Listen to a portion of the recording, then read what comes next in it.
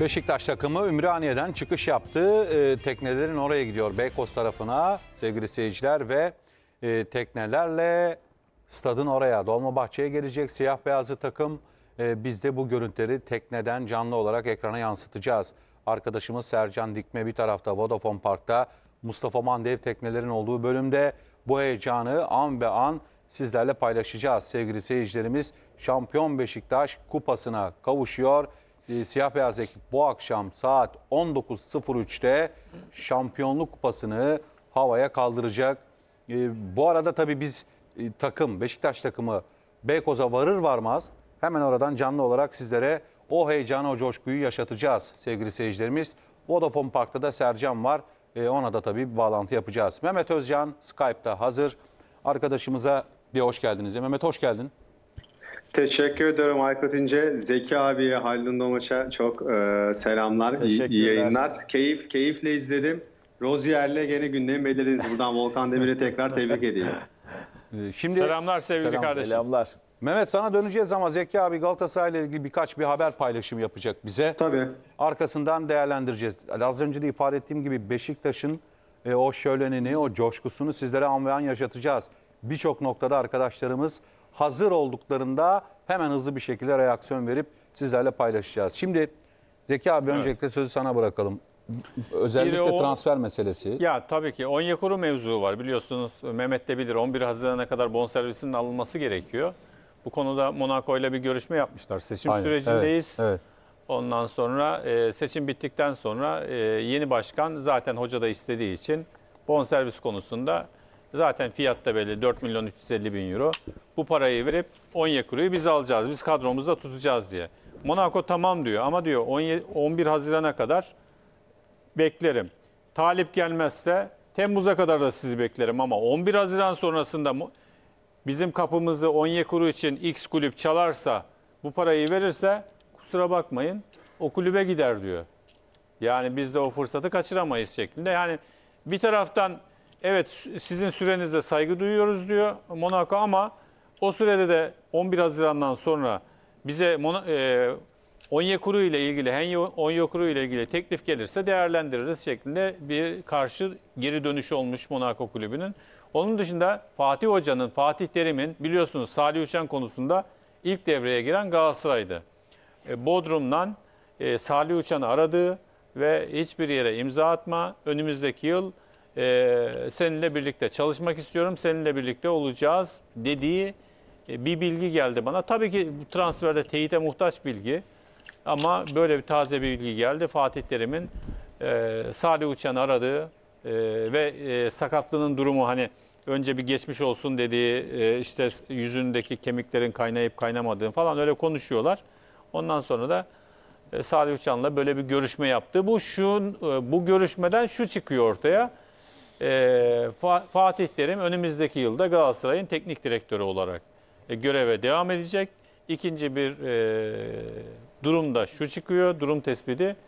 Başkan Mustafa Cengiz aday olmayacak ve başkan adaylarından biriyle e, Fatih Terim çalışacak. Biri ya da iki şu andaki mevcut başkan adaylarından favori. Bel- belli ki Fatih Terim e, kongrenin nabzını iyi tutar bir defa. 50 yıllık Galatasaraylı olduğu için e, tahmin etmiştir. Şu e, başkan adayı e, kongrede seçimi kazanır. İşte onunla da zaten istişarede bulunmuştur. Benim böyle böyle bir listem var ki mevcut başkan da Mehmet şu anda e, Fatih Terim'in raporuyla birlikte çalışmalarını sürdürüyormuş. Hatta şunu da söylüyormuş. İşte e, Aytaç Kara ile biliyorsun anlaştılar. Aytaç Kara dışında diğer oyuncular çok geri dönüş yapmamışlar. Hani hiçbir yere imza atmayın. Sizinle zaten biz görüşüyorduk.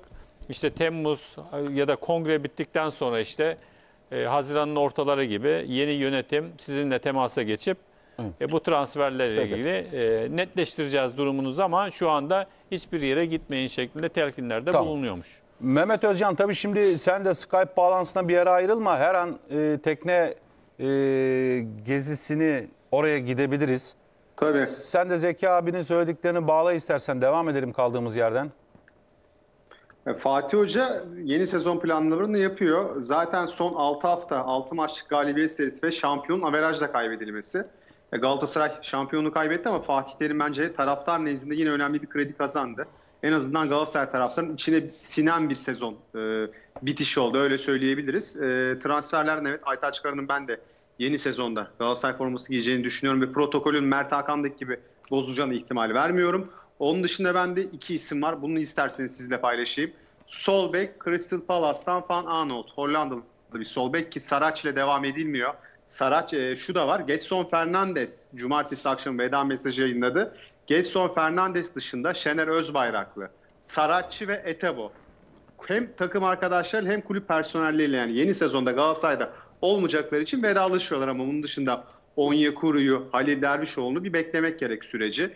Onyekuru konusunda benim şöyle çekincelerim var. Ee, Zeki abi ben normaldenim. Menajer ismi telaffuz etmek istemiyorum ama Galatasaray artık o malum Badu Endiaye'nin satışıyla başlamıştı e, kulüple olan ilişkileri. O menajerle çok çalışmaya sıcak bakmıyor ki hatırlarız, hatırlarsanız sezon içinde de yine o menajerin oyuncusu Belhanda'nın sözleşmesi tekrar feshedildi.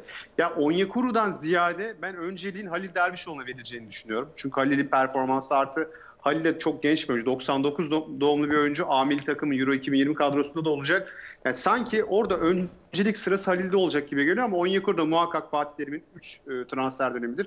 Kiraladığı bir oyuncu. Sadece öncelik olmadığını söylüyorum. Sana an şu için. soruyu sorayım Onun Mehmet. Mehmet, e, on- Halil Dervişoğlu'nu Brentford 3 milyon euro bonservis bedeli ödeyerek aldı. Şimdi 4 milyon eurodan aşağıya satmaz. 4 milyon euroya Halil Dervişoğlu'ndan daha iyi forvet bulamaz mı Galatasaray? Ya da Halil Dervişoğlu'yla şampiyon olabilir misin? Birinci forvet olabilir mi Galatasaray'ın? Güzel, Onları çok ben- güzel, çok güzel soru.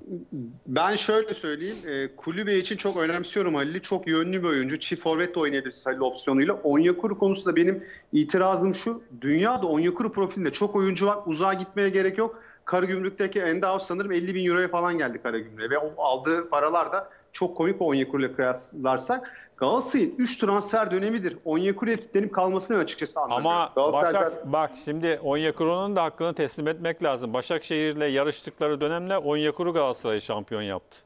Onyekuru oynadığı zaman bu sene tabii ki enerjisi düşüktü Onyekuru'nun katılıyorum. Bu seneki performansı ile 4 milyon 350 bin euro etmez. Ama Onyekuru iyi bir Onyekuru'yu Fenerbahçe'de ister, Beşiktaş'ta ister, Galatasaray'da ister, Trabzon'da ister. Orada arkadaşlar 17 demiş. 11'inde 11 Haziran'da opsiyon hakkı bitiyor. Süresi Monaco'nun süresi 17 Haziran diye bir şey yok. 11 Haziran'a kadar 11 mi, bonservis- 17 mi? 11, 11. Haziran'a kadar bonservisini alması gerekiyor. Yani Galatasaray'ın 4 milyon 350 bin euroyu yatırması gerekiyor ama şu anda seçim sürecinde olduğunu söylediği için Galatasaray Monaco'da diyor ki tamam saygı duyuyoruz ama 11 Haziran'dan sonra bize teklif gelirse biz değerlendiririz demişler. Sen- Doğru ama Onye, Onyekuru'ya da ben Galatasaray'dan başka bir takımın 4 milyon euroların yukarısında bir teklifi Monaco'ya götüreceğine çok ihtimal vermiyorum. Geçen sezonda hatırlatalım Zeki abi Kadıköy'deki golü dışında geçen sezonda Onyekuru'dan Galatasaray çok yararlanamadı. Yine bu sezonda aynı sakatlık problemleri, devamlılık sorunu. E, tabii ki iyi oyuncu. Ona itirazım yok ama benim takıldığım nokta ya Onyekuru profilinde oyuncu gerçekten çok var dünya genelinde. Zaten Onyekuru'ya onların- Mehmetciğim Onyekuru'yu e, Galatasaray opsiyon hakkını kullanmazsa ben Fenerbahçe'nin Onyekuru için devreye gireceğini düşünüyorum. Onyekuru'yu kaçırmayacağını düşünüyorum. Onyekuru gibi çok fazla bizim ligimizde denenip e, başarılı olan hani tabii ki Onyekuru tarzında çok oyuncu var ama bizim ligimizde tescillenmiş başarısı. Önemli bir oyuncu. Yani taraftar şuna bakar. Hızlı, e, gözü okşayan oyuncuyu çok arar. Böyle suratlı olacak, gol atacak, dripling yapacak, hücuma hareket getirecek. Bunları Onyekuru yapabiliyor mu? Yapabiliyor. Fırfır bir oyuncu. Hani derler ya pırpır oyuncu. Haldun abi daha iyi onu benzetmesini yapar mutlaka. O yüzden dedim.